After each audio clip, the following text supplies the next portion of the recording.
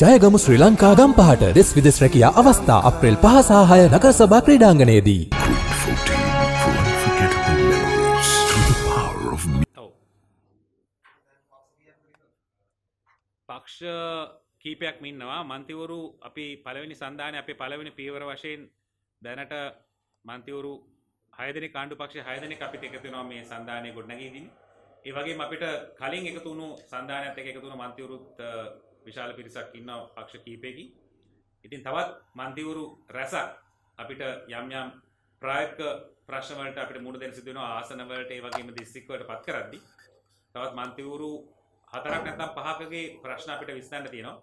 ඉදිරි අපි සුමාන කීපය තුළ ඒ මන්තිවරු එකතු කරන්න බලාපොරොත්තු වෙනවා. ඒ වගේම තව මන්තිවරු විශාල පිරිසක් අපි අ, කඩින් කඩ එකපාරට නෙමෙයි මාස 3ක විතර මේක අපේ ගමනක් තියෙන්නේ. අපි එකපාරට අර පීක් වෙලා අ, ඒක එතනින් ඉවර කරන්න බලාපොරොත්තු වෙන්නේ නැහැ. ඡන්දේ ලඟ වෙනකොට අපි ඉතාමත් පුළුල් ශක්තිමත් විශාල සන්ධානයක් බවට පත් කරන්න බලාපොරොත්තු වෙනවා. මොකද අනිත් පක්ෂ කෑලි කෑලි වලට කැඩෙද්දි අපේ පක්ෂය අපි එකතු කරගෙන විශාල සන්ධානයක් කරා යන්න පුළුවන් එකම පක්ෂය බවට මේ වෙනකොට SJP එක පත් වෙලා තියෙනවා. ඉතින් අනිකුත් පක්ෂ ඔබතුමාලම දන්නවා CC කට වෙද්දි පක්ෂ ඇතුලේ පිපිරයාම් වෙද්දි අපිට අපේ පක්ෂය විශාල පිරිසක් එකතු කරගෙන සන්ධානයක් ඇති කර ගැනීම හැකියාව ලැබිලා තියෙනවා. ඔව්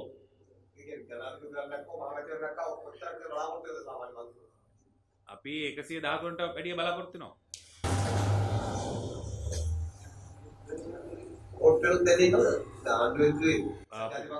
පෝට්ටුවෙන් ආණ්ඩුවෙන් පෝට්ටුවත් ආණ්ඩුවෙන් අපිට හොයාගන්න බෑ කොහෙද ඉන්නේ කියලා මන්තිවරු දැන්.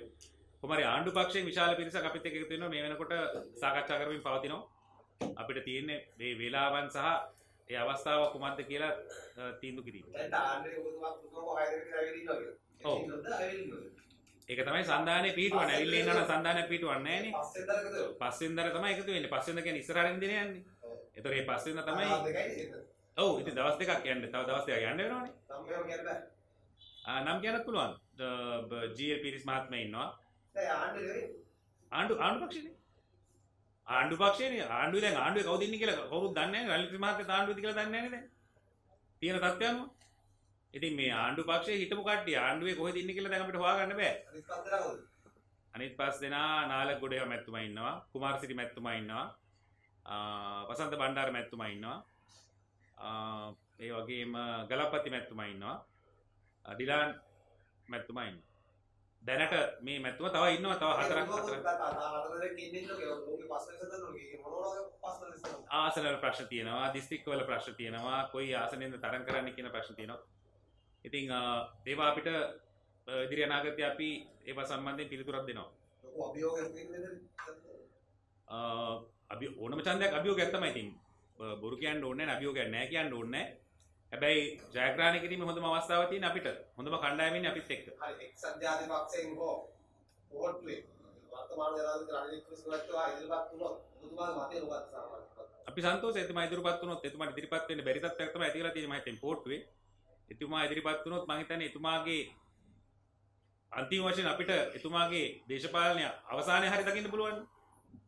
නැත්තම් අපිට කරදරයක් වෙලා තිබුණේ එතුමා දැන් අවුරුදු 30ක් විතර අපිට දිගින් දිගට දිගින් දිගටම අපේ පක්ෂය ගොඩනගන්න බැරි තත්ත්වයක් ඇති වෙලා තිබුණේ. ඉතින් මම හිතන්නේ එතුමා නම් දැන් අපේ පක්ෂේ නෑ. ඉතින් මම හිතන්නේ එතුමාගේ අන්තිම මැතිවරණය බවට ඒකපත් වෙයි මම හිතන්නේ එතුමාට ඒ අවස්ථාව ලැබෙයිද කියලා දන්නේ නැහැ. ලැබුණොත් අපි එතුමාට සුබපත් වෙනවා. හරි ඒක කියලා. සිහිනයක් මොන මම හිතන්නේ ඒ පක්ෂයෙන් අපිට විශාල පිරිසක් ගන්න පුළුවන් වුණාට ගන්න අපි මොකද යම් යම් චෝදනා තියෙන පිරිසක් ඒ රනිල් මහත්තයත් එක්ක ඉන්නේ. ඉතින් ගන්න පුළුවන් අ, අතලොස්සක් ඉන්නේ.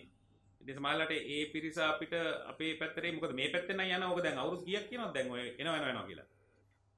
එන්නේ නැති ඒමත් තමයි ගැන කතා කරන්නේ. කවදාත් මේ පක්ෂෙන් අපි මොකද එහෙනම් ඉතින් මම හිතන්නේ දේශපාලනය ගැන දන්නේ නැති මේ ජයග්‍රහණය කරන්න පුළුවන් පක්ෂයක ඉඳලා වෙන ගිලා බහිර නැවකට මම හිතන්නේ නැහැ සාමාන්‍ය මිනිස්සෙක් බහි කියලා. දැන් ওই පස්සෙන්ද හදන සන්දාන ශ්‍රී ලංකා නිදහස් පක්ෂයෙන් කවුරුත් එන්නද?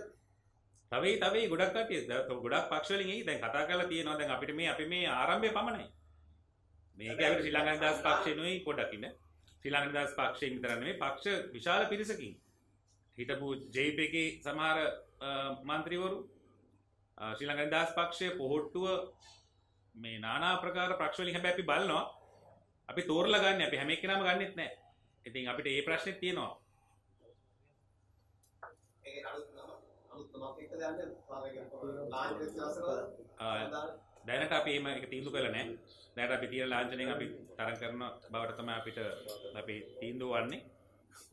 දැනට අපි යන්නේ සමගි සන්දානයක් වශයෙන්. ඒකේ සම්- සමගි ජනබලයේ සම්දානයක නම වෙනස් වෙනවා සන්දානයේ නම වෙනස් වෙන්න පුළුවන්. සමගි සම්දානයද එහෙම එහෙම තාම නැහැ. තාම අපි තීන්දුව කළා නැහැ. ඒ නම යන්නත් පුළුවන් අලුත් සන්දානයක් යටතේ තරම් කරන්නත් පුළුවන්. නෑ නම් යෝජනා තියෙනවා. නම් නම් ඕන